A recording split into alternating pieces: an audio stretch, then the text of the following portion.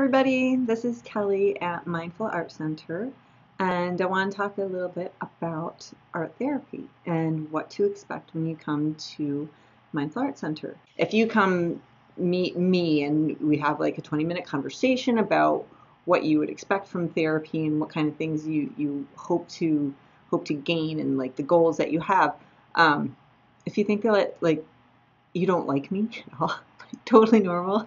Wait, no, not totally normal, but you know what I mean? Like, if there's not a good connection, okay, then I'm probably not the therapist for you. But anyway, um, that's kind of what you're looking for in this 20 minute consultation. After that consultation, if you decide to start art therapy with me, um, I would have you fill out, well, the next time you come in, you fill out some information, some basic contact information and, and basic intake form, which gives me some information about your background and um, and the history of your family and where things are right now for you. And it's not all necessarily about art and, and making art. There's definitely conversation going on. There's a lot of talking going on.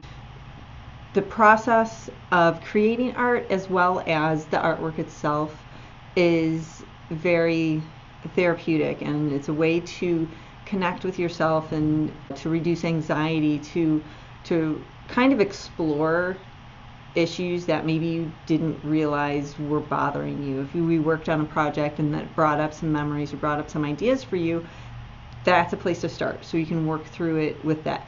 And art therapy does not require like having great artistic skills. This is not a time for creating artwork that's going to hang in a gallery. That could happen, you can definitely get you know create some work that you're really proud of that you would want to show other people. Um, sometimes you're creating artwork that is strictly for yourself. No one else is going to see it.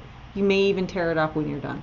You know that's part of the process. It's a very meditative very intuitive process and i fully believe in it. And i make art every day. I do something creative every day.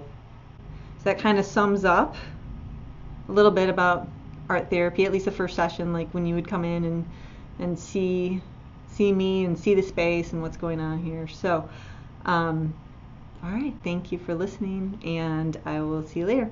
Bye.